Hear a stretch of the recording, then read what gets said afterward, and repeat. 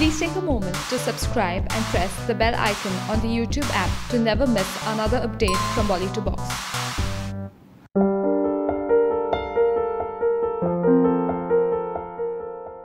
The entire Bollywood went into a state of mourning ever since the news of Sridevi's sudden demise broke out.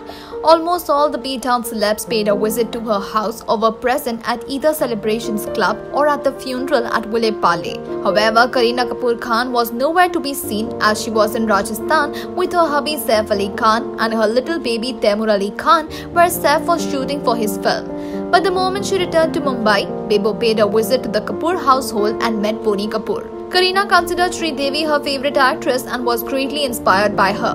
And Sridevi too was quite vocal in praising Kareena. And so Kareena was quite emotional as she offered her condolence to Boney Kapoor and the kids. So what do you have to say about Kareena's gesture? Do let us know by commenting in the section below.